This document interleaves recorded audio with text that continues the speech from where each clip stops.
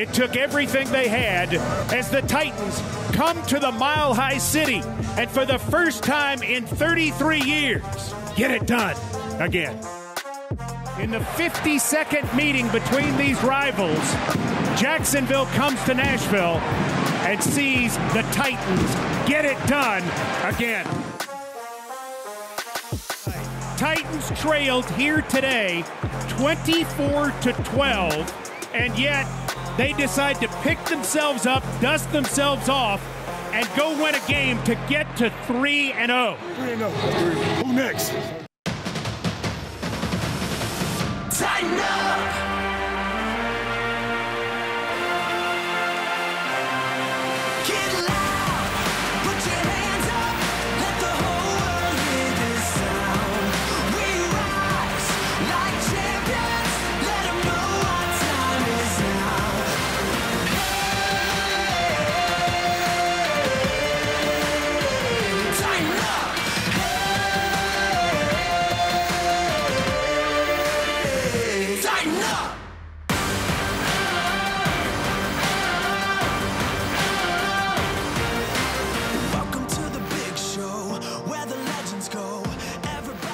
We welcome you to the Mike Vrabel Show presented by Coca Cola. I'm Mike Keith, joined by the head coach of the Tennessee Titans, Mike Vrabel, as the Titans come off a surprise bye weekend caused by the COVID outbreak on the football team. Titans still stand 3 and 0. And Mike, as we see this new week dawn, we certainly hope things are going better for the Titans. First and foremost, let me ask you about the health of the players and the staff hopefully everybody is bouncing back.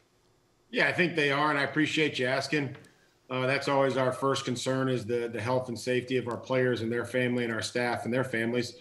Um, for the most part, I think everybody's doing well, uh, improving, uh, and and hopefully we can continue to to put this thing behind us. Mike, outside of the, the concern for the health of the players and the staff, what has been the biggest challenge in all of this for you as the head coach?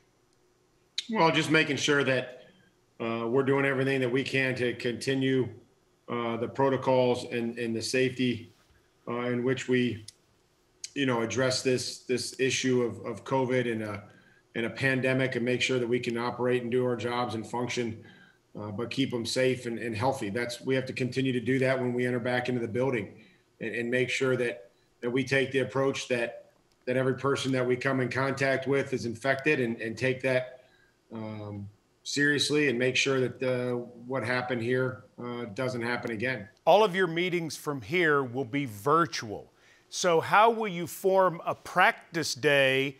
Knowing that you certainly go on the field together, but that you can't meet in person? How will that shape your planning? Well, we'll always have a schedule that's got the, the players' best interests in mind. And so, you know, there's going to be a lot required of them and asked of them as far as coming over and testing, point of care test to be able to come into the building. Um, the number of people that are permitted in the weight room at any given point or the training room and being mindful of the cafeteria. And so, um, we are, um, you know, we're working through that schedule uh, and, and going to do what's best for the players, and then try to make sure that they're engaged and stimulated um, through the Zoom meetings virtually. Titans head coach Mike Vrabel, the Mike Vrabel Show. When we come back, it's your Coca-Cola six-pack.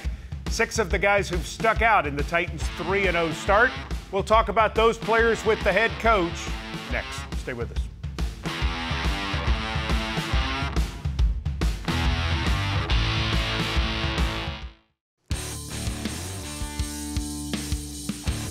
Mike Vrabel Show, presented by Coca Cola, continues with the six pack. Mike Vrabel's six pack. Usually we have six plays, but to start off with here, because there was no game this past weekend, we're going to talk about six players who played key roles in helping the Titans start 3 0.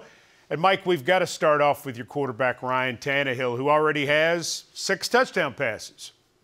Well, let's hope he can continue to improve on that. I feel like he's taking care of the football.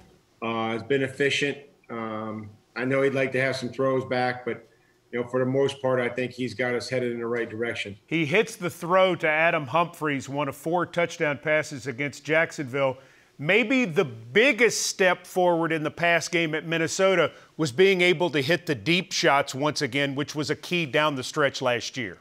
Yeah, that was something we were able to move the ball down the field. And, you know, we had a lot of catch and run plays uh, last year that moved down and made it look big. You know, maybe hit one against Oakland, but, you know, that we have to be able to do that. We have to be able to hit the ball and throw the ball over people's head at times. Uh, and that was something that was great to see whenever we were in Minnesota. All right, let's talk about one of the receivers making things happen for Ryan Tannehill. Tight end Jonnu Smith, who has continued his outstanding play from the end of 2019. He certainly has. Uh, you know, there's players that work hard, but I don't think anybody works harder than Jonnu. Uh, he's right up there at the top, uh, always looking to improve. So, you know, he's he's got a really good skill set. He can run. Uh, he's been able to go up and attack the, the ball uh, uses catch radius. As you can see there, he's not letting the ball get into his body. Uh, even when he's contested catches, I think that that's something that he built a lot of confidence with uh, towards the end of uh, last year as well. Why is he one of the most effective red zone targets at tight end in the NFL, Mike? Well, I mean, I think he, you know, those are qualities that we talk about with his size and his speed uh, to be able to to run routes and get open against uh, corners or safeties, excuse me uh, linebackers. And then again, you, you see that those tight windows and some of those throws down there, those catches, you're going to see him go and frame the football and go and attack it wherever the football is. We go from number 81 to number 84. How about a little Corey Davis so far in 2020? Yeah, we just got to keep moving and progressing. You know, started off um, really well in uh, in Denver, and, and then just got to keep up that consistency you know, has helped us well. And again, we need him in a run game, and, and there he is in the play action pass game. We've got to put that ball away and then not switch it here in traffic. Those are things we're going to continue to harp on. Uh, we, we've taken care of the football, which has allowed us to, even when we're not at our best, uh, win, win these games. The next man didn't play this weekend, and yet he's still the third leading rusher in the National Football League. I'm talking about Derrick Henry. Well, he's, he knows that we're going to lean on him heavily. Um, it was good to see him get in the end zone here the last time we played, uh, and I know that we're going to start we're going to start breaking some, and he, you know he's been running well for us, and, and, we have to do a better job of blocking, and, and he can improve everywhere. Uh, but you know we're, we're going to count on him and lean on him heavily. Let's turn to defense now, and let's talk about another Alabama man, linebacker Rashaan Evans, who had the big fumble recovery and return against Minnesota. Well, that's uh, you know, we had a little situation there early in Denver. Uh, he, he, entered the, uh, he exited the, the game early, but uh, he has been active. He, he loves this team. He loves this defense. And, you know, we got to play better defensively, but uh, we've been able to get some turnovers. And, you know, you run to the ball, good things happen. And Rashaan plays with great effort and, and a great toughness. I know you respect Dave McGinnis's opinion. He feels like your safety, Kenny Vaccaro, is maybe one of your underrated heroes so far in the 2020 season. Tell me what you think about Kenny's play to this point. Well, he throws his body around, and you know, again, we we all can can improve, but uh, Kenny's throwing his body around, and, and he he does a lot for us. So we ask him to blitz, and you know, we ask him to cover, and he's down in there and run support. So you know, just that's the versatility that we that we like. And, and again, I love his attitude. I love his preparation and, and, and what he brings to it each and every day. You mentioned the versatility, the fact that he and Kevin Byard played together as such a pair has given your defense an added element as well. Well, they got a lot of comfort with each other. They they communicate. They can just look at each other and, and use eye contact and hand signals uh, to be able to communicate and, and, and run our defense. So the, the more familiarity that everybody has, I think the better that, that we'll all be. That's the six pack presented by Coca Cola. We'll tell you the Rackley mm. Roofing Tough Titan comes up later in the show. That's going to be Malcolm Butler. But up next, it's Delta Dental's Guess the Titan as we continue oh, yeah. on. Oh, yeah. As we continue on the Mike Vrabel Show presented by Coca Cola.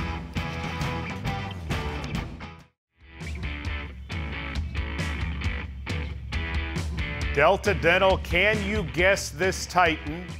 The Mike Vrabel Show presented by Coca Cola. The Delta Dental segment, one I think you're going to hit this time. I think I can handle this one.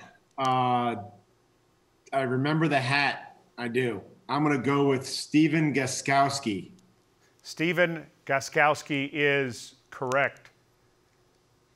Looks like I mean, him. this is what this game has gotten to. You have to show them to me a second time for me to actually get them correct. Well, talking about Steven is probably better than the game itself because you're talking about the AFC Special Teams Player of the Month. What a comeback from his start, and what a performance against Minnesota. Absolutely. Well documented how he started the season. Not what any of us had envisioned or wanted, but uh, being a professional uh, and being the type of player that he is, he, he got it corrected. And, and we also helped him out a little bit, I think. I think we protected better and got that stuff cleaned up. Um, and then really single-handedly won that Minnesota game. You know, making three kicks over 50 yards. Um, you know, we needed him. We had to have him, and he came through. Your former teammate too. Is that fun coaching a former teammate like that? Yeah, I mean, I don't really coach Steven much. It's like I don't coach Kern or Brent, you know what I mean, Bo. Like those guys are specialists, and you know what? What am I going to tell Brett Kern on how to kick the ball 50 yards on the sideline? Like it, it's out of my control, and those guys handle it very well. Um, you know, I, I, used to anytime that the kickers miss, I always walk over there. I said, "Well, was it a bad snap or a bad hole?" You know, just always looking to try to break the break the ice a little bit because you know it's never the kicker's fault. So you're either going to blame it on the snap or the hold. That's usually my go-to line. All right. Well, let's keep Steven involved in the program here as we're going to do the Bridgestone Clutch Performance play of the first three games. And it's actually a sequence of plays at the end of the first half against Jacksonville. They kick off after scoring, and Joshua Kalu makes a play on what was supposed to be a little line drive squib kick. Yeah, they're trying to take some time off there and they try to squib it. Josh is able to get in front of it, knock it down, get in front of it like a shortstop. Had plenty of time over there and make the play.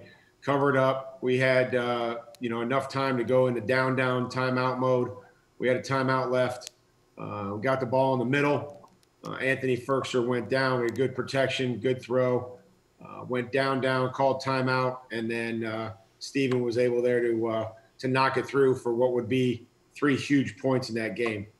In a game you won by three points. That's the type of complementary football you always want to see out of, in that case, your offense and your special teams. Well, we just need more of it. You know, I mean, it starts with, you know, the defense did get a stop. They, they forced uh, Jacksonville to, to kick a field goal, you know, in that two minute drive. Jacksonville tried the hard squib. So, you know, in my mind, we erased the three points that they were able to put up there. And, uh, it was in, in effect complimentary. After the break, we'll have the Rackley Roofing Tough Titan as we're going to talk to one of the toughest, Malcolm Butler, and you'll hear the comments from the head coach on number 21. This is the Mike Vrabel Show presented by Coca Cola. He needs two yards to keep this game moving on. You see what you're made of when you go through something tough. Steady rainfall. And yeah. It's been a tough year, but Tennesseans are built for this. Grit passed down through generations. We look for it. We like it that way. Football is back, baby. Tough. Tennessee tough. Glad you're joining us for the Mike Vrabel Show presented by Coca Cola. Malcolm Butler is a veteran player on this football team. He plays the cornerback position. And Mike Vrabel, he is uh, a guy you like to watch play because he plays the game the way you want to see it played all the time. Malcolm, like most of us, isn't perfect, uh, but he plays with an effort and a toughness and a competitive spirit, you know, that I admire as a coach. Uh, he, he's never going to give up he's going to try to compete, uh, and, and, he does that. And so he's a great uh, mentor to um, all our players, but especially those young DBs. Yeah, Fulton and Jackson certainly look to him right off the bat, don't they?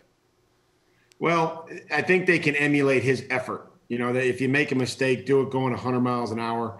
Uh, you never beat on a play unless you give up. And, uh, you know, they're DBs. They're going to, people are going to complete some passes on them you know, you, you, you hope that they're challenging and, uh, you know, we get, we're going to start winning some more of these balls in the, in the, in second half of the season as we, we finish here and, and move past this bye week. He's the pride of Vicksburg, Mississippi. He is a two time Pro Bowler and he is a Titan starter at cornerback. This week, he's the Rackley Roofing Tough Titan, Malcolm Butler. And Butler is hurting. Butler holding his wrist or his hand is writhing in pain, and the Titans training staff is going to have to come get him. Let me ask you about that injury based on the fact that you missed the second half of the year. You'd never been hurt like that before in your career, had you? No, sir. That was the first time I ever, you know, missed a game or, you know, had a, a major injury. So it was a lot of adversity, but I'm back now, ready to roll. So I want to know when you got hurt last year, I mean, your grades through the first eight games had been fantastically high, and everybody was talking about Malcolm Butler's on his way to another Pro Bowl. Were you playing the best football of your career when you got injured last year? I believe so, yes, sir. I know I was. You know, I had an off year the year before that, and I wanted to prove to my teammates, myself, and, and, and my coaches in the city of Nashville. I thank God that I got another opportunity to do it this year. Blitz coming. Cousins under pressure, fires downfield for Jefferson. It's batted away. Nice job with the left hand by Butler. Cousins throws downfield for Thielen, and it is batted away. Again, Butler at the last minute gets in there and saves a touchdown as it looked like Thielen had a score. That's two great plays by Butler back to back. How can the defense be better in 2020 than it was in 2019? Just take it up a notch. You can't live off last year. Nothing in the past is going to help you. So communication, believing in each other, working hard, practicing hard, studying the film, studying your opponents, and you know just doing whatever it takes to win. You're 30 now. So you've done this for a while. You've seen it. When you see a young guy come in, what's the most important thing you can get across to him quickly to help him be an important part of the secondary right away? Just being a pro, and, you know, you come in here first round, you got high expectations, and just communicate with your teammates. You here to play football, and that's that's all you can do. Be a good teammate, play football, respect your elders, and uh, Chris is a pretty cool, quiet guy. We are so glad you're back and back at it, playing great ball when you were dinged up last year. An important part of this team. Malcolm Butler, thanks for joining us. Yes, sir. Thank you.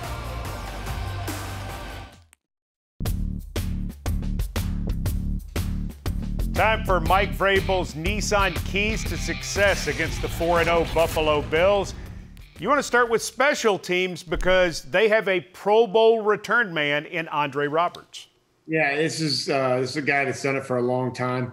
Uh, he, he's leading the league in punt returns and kickoff returns, so it's going to be critical that we handle him, uh, that we're punting the ball well, that we're getting great coverage out of our gunners. He's averaging over 12 yards of punt return and, and up to 34 yards of kickoff return. So he's obviously going to be a key to the game on special teams for us. Key number two for the Tennessee Titans is be efficient on offense, and that means no negative plays. Well, we can't sit there and play second and 10, second and 12. You know, a third of Buffalo's plays against them are for no gain or for negative yardage. And uh, we just can't play the game behind the chains. And so if we can stay efficient on first and second down, you know, we will be where we need to be. And then you say eliminate X plays on defense. What does that mean, Mike? Well, it's those runs over 15 and passes over 20 that change field position, change momentum. There's been too many of them uh, in the first three games that we've played. You know, there's too much good defense in there to to be um, overshadowed by 10 or 12 plays a game that amount to 250 yards. That's that's not going to be good enough, and it's not good enough. There's too many good snaps in there, you know, for us to to be able to build around if we can just eliminate these explosive gains. Is it a bigger challenge because Josh Allen is the quarterback on the other side on Sunday? Well, it's always a big challenge, and, and he's he's a guy that can keep plays alive. He's had a few of them himself run the football. Uh, he keeps plays alive. He's he's more comfortable completing the deep ball this year. Seems like Stefon Diggs has become uh, somebody that that will go down and get the ball downfield. He completed a few of them. So th- this is going to be a challenge for us um, because it's the next challenge with the Bills. How exciting will it be for this team to get back on the field at Nissan Stadium Sunday? I think they'll be ready to play. I think by the time the game day rolls around, these guys will be excited and ready to go. Well, Mike, we look forward to it for certain. Remember, the Titans and the Bills Sunday at Nissan Stadium. Kickoff is set for 12:02. We invite you to listen to all of it on our flagship station in Nashville. It's Titans Radio 1045 The Zone. We're on the air with Titans Countdown beginning at 11 a.m. We hope you'll join us for all of it. For the head coach, Mike Vrabel, Mike Keith says, thanks for watching The Mike Vrabel Show, presented by Coca Cola.